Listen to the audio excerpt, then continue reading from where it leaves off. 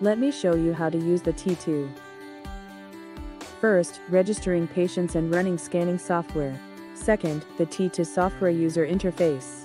Third, how to use the T2 equipment.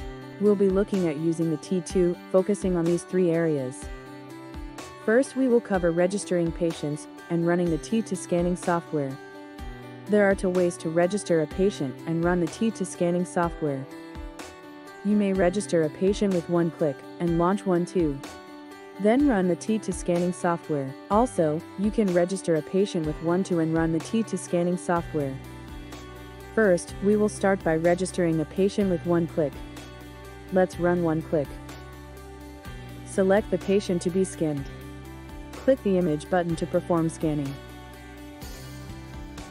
Pressing the image button will launch One2, and you can see the exact patient information you selected in the one click appear on One2, as well.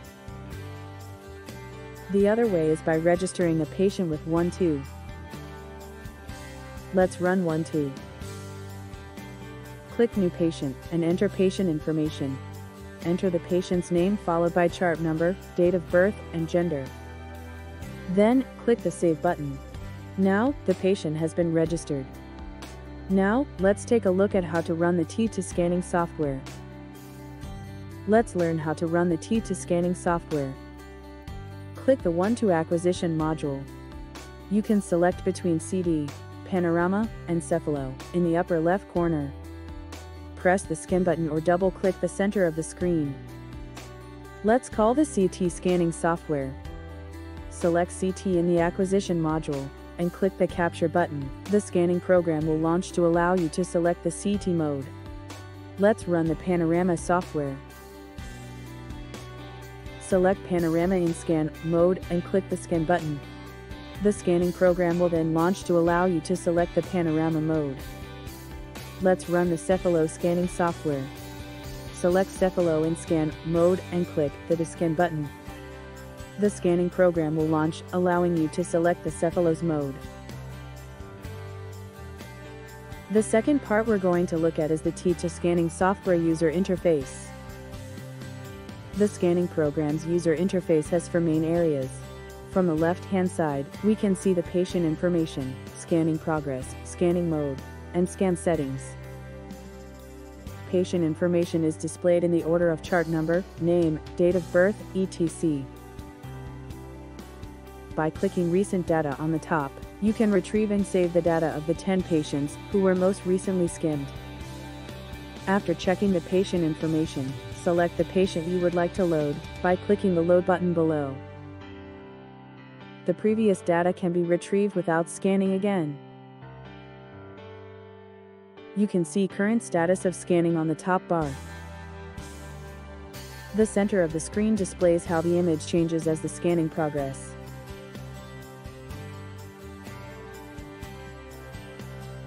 The Scan Settings Details button is located on the far right. You can see it from the previously selected scanning mode, and the patient type is automatically selected based on the patient information from One2.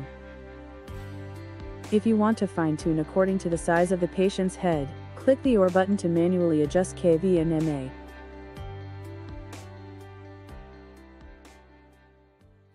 Offer 6 different scanning modes depending on your choice of CT, Panorama, or Cephalo.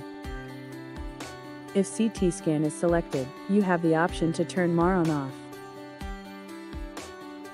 And with Panorama Scan, the position alignment function becomes available. This function is activated after a panorama scan. You can see how the generator temperature changes based on the number of consecutive scans of the equipment. When you finalize the scanning mode by clicking the confirm button, DAP radiation dose will be displayed in the form of a number. The third thing I'd like to explain is using the T2 equipment. Turn on the switch located on the back of the equipment. A white light illuminates when the equipment is in normal operation status. If the status indicator is illuminated red, turn the emergency switch on the back of the equipment clockwise to turn it off. You can adjust the height using the up-down switch on the side of the equipment. To position the patient for scanning, press the equipment control box button and check whether the equipment works properly column position control button. using the column position control button, you can adjust the position to the height of the patient. During a panorama scan, adjust the Frankfurt laser to the baseline under the eyes. Then, raise or lower the patient's face using the column button. Frankfurt beam button. Adjust the position of the beam to the Frankfurt line, which is the baseline for the patient scanning. This is mainly used for panorama and cephalo positioning. Canine beam button. The beam button adjusts the position of the canines which is the starting point of a panorama scan. Press the button to place it on the canine. Temple support button. This fixates the patient's head to prevent it from moving during the scan. Pressing this button during the panorama or CT scan enables fixation, and pressing it once more releases it. OK button. Once the patient is properly positioned, press the OK button. The button gets the equipment ready for scanning right before you press the inspect button. That brings us to the end of the instructions on the T2. Let me walk you through how to run a CT scan using the T2. First, we will be talking about the CT scan user interface. Then how to run a CT scan. First, let's look at the CT scan user interface. There are six different CTFOVs ranging from 5x5 to 15x15 to choose from. The 15x9 size is set by default, and it runs full arch scanning. If the scan focuses on areas like sinus and TMJ, adjust the scanning position in the center of the screen.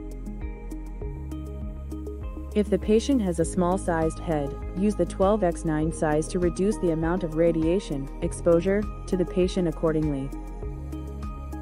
You can take a small-sized scan using 5x5 to get a clear image. If you select the teeth location in the menu where the upper and lower jaws are separated, a clear image of localized areas can be acquired. The 8x9 scan divides the oral cavity into different parts, allowing you to choose between center, left, and right areas for scanning. Since the scan covers the upper or lower jaw of the required area, instead of the full arch, it is suitable for patients who are sensitive to radiation. 10x9 scan mode can be used only for a TMJ scan. You can scan a part of the left or right side, or scan both sides simultaneously. For a both side TMJ scan, you can do a two rotation scan to match the right and left sides for comparative diagnosis. You can use 15x15 scan for larger areas. The gantry rotates twice to scan from the lower jaw to the orbit, which is useful for a wide range of diagnosis activities. The radiation exposure is twice as high as that of 15x9. If the MAR function is selected and the number of prostheses in the patient is large, this will reduce metal artifacts and facilitate diagnosis with a high-quality image. Second, let's see how to run a CT scan. Before running the CT scan, mount the chin rest and bite. Have the patient wear the apron to reduce their radiation exposure. Remove any metal accessories from the patient and place them on the cradle. Let's look at the options for CT scan and scanning position. For A15X9 scan, three different levels are available. Full arch scan covers from the lower chin to the inferior border of the maxillary sinus adjust the level of the chin rest to the patient's height. Have the patient stand straight with their feet in a comfortable position. Have the patient hold the handles under the chin rest. Have the patient rest his her chin and bite the bite block groove. Align the patient's face with the center beam, lift the face slightly and fixate the head to start scanning an occlusion scan is able to cover a greater area of the maxillary sinus than a full arch scan. Since the equipment provides the height set for scan. Align the patient face with the center beam to fixate the head to start scanning. Sinus TMJ scans are used to view the maxillary sinus and the TMJ. Since the equipment provides the set level for scanning. Align the patient's face with the center beam and fixate the head to start scanning. With 5x5, you can separate the maxilla and the mandible, and choose one of the five points for scanning. Since the equipment provides the set level for scanning. Align the patient's face with the center beam, and fixate the head to start scanning. Fine-tuning of the teeth position is not provided by the T2. For an 8x9 scan, you can choose one of three areas from the maxillary and the mandible for scanning. Since the equipment provides the set level for scanning, align the patient's face with the center beam and fixate the head to start scanning. 10x9 scan is used for TMJ scan only. You can select either right TMJ or left TMJ for scanning, or scan both TMJs at once. Replace the chin rest with the one that is only used for TMJ. Adjust the height with the column up-down button, so that the chin rest reaches the level of the patient's philtrum. Have the patient's philtrum touch the chin rest. Keep the center beam to the center of the patient's face, then fixate the head to start scanning.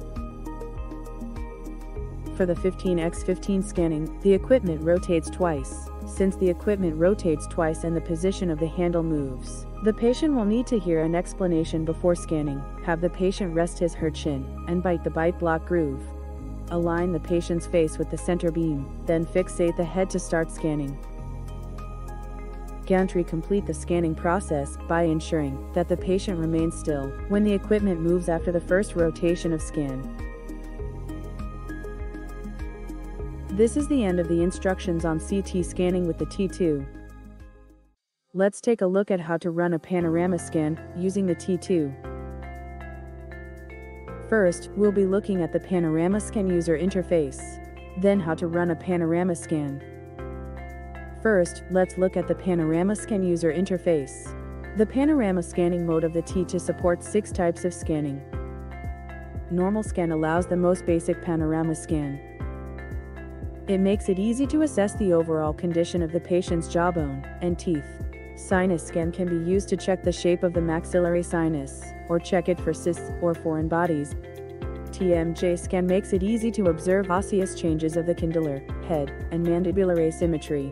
The scanning runs twice once with mouth open and once with mouth closed. A comparative diagnosis can then be performed with the two images. During the panorama scan you can run a partial scan to prevent unrelated areas from being scanned. You may select the right, front, left, or center area for scanning to reduce the patient's radiation exposure. Second, let's see how to run a panorama scan. Mount the chin rest and bite to start panorama scan. Let's take a look at selecting the panorama scan, mode, and scanning position.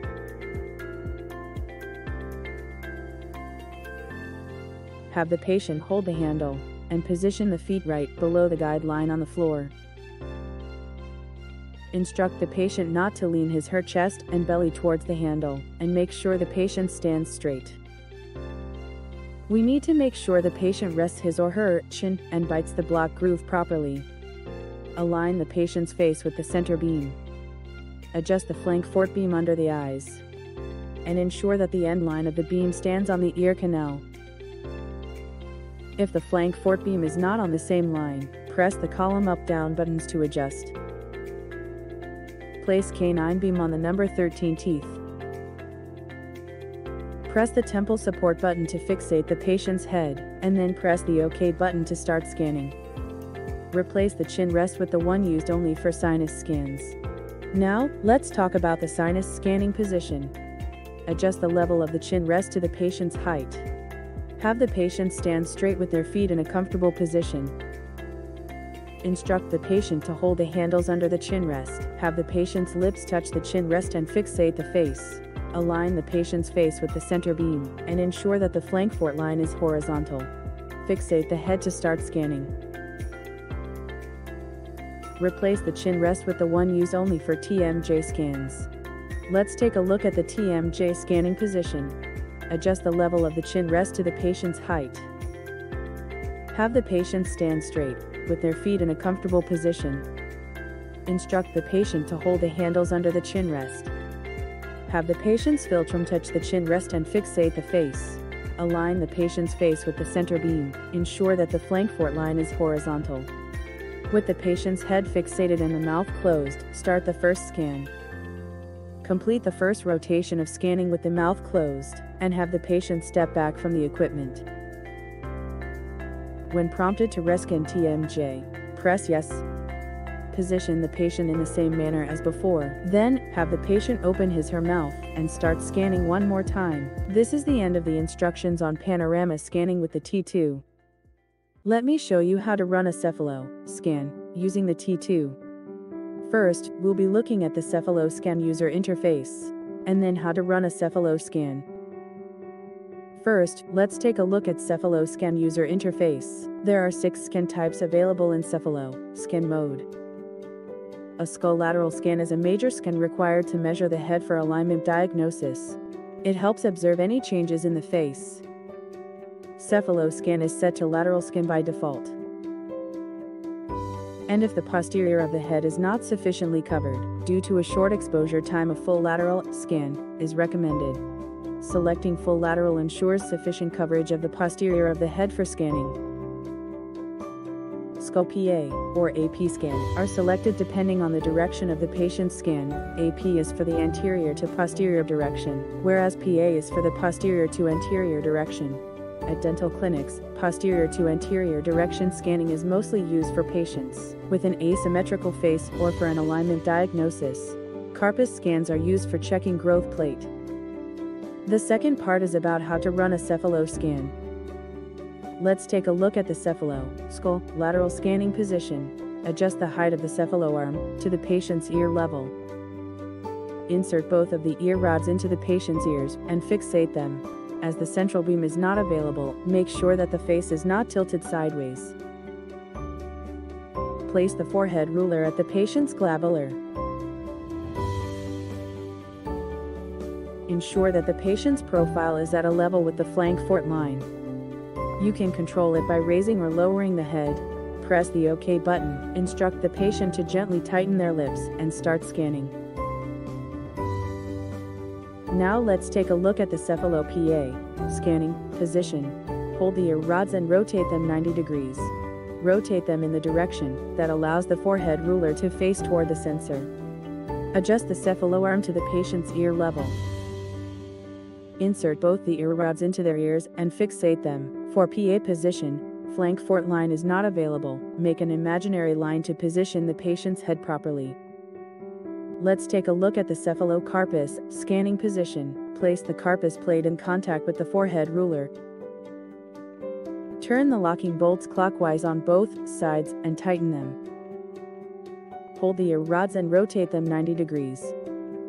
Rotate them in the direction that allows the forehead ruler to face toward the sensor. When the carpus plate has been placed, put the patient's hand in the position shown on the plate. Ensure the wrist is covered for scanning. This brings us to the end of the instructions on how to run a cephalo scan with the T2. Thank you.